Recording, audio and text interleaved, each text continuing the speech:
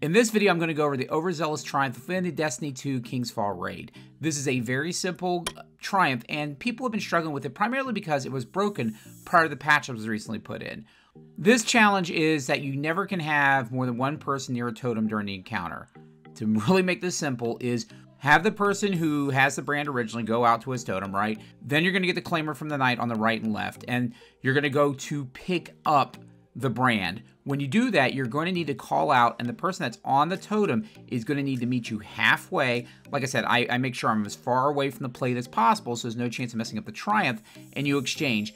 Then you, the person who now has the brand, go over and stand on your totem, and then just rinse and repeat. Do that the entire encounter. Again, the only way you can mess this up is if you for some reason want to switch the brands again and you're too close to totem make sure you don't do that again really simple don't need anything really complicated that's the video. If you like the video, if you like the video, subscribe my channel, jump my Discord, and I'll see you Guardians in the tower.